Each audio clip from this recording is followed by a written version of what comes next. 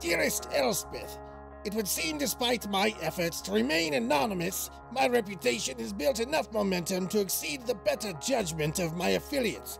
Somebody has been flapping their gums, and I aim to grind my boot heel on their waggling tongue. Why, just today, some unknown fool claiming to be Dirty Steve, as a rather attractive halfling fellow came knocking at my private door. Now, I've heard the name Dirty Steve before, and it never means anything good for those who live past the first meeting. Which, of course, has me a bit concerned about who our noisy friend may have been, spewing our secrets too.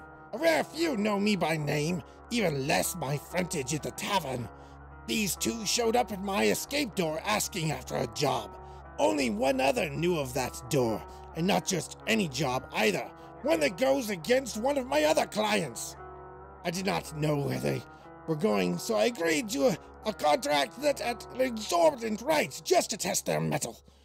But they have agreed.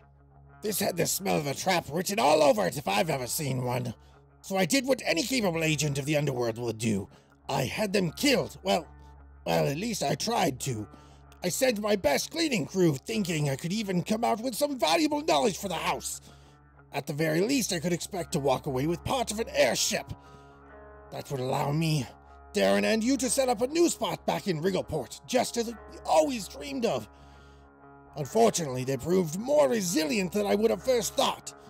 In fact, that adorable halfling I was so busy gawking at cut down the whole squad in a single flourish. I'd never seen anything so quieting in my life. To make matters worse, they seem to be recruiting their own repair crew while I have unwittingly supplied their endeavor.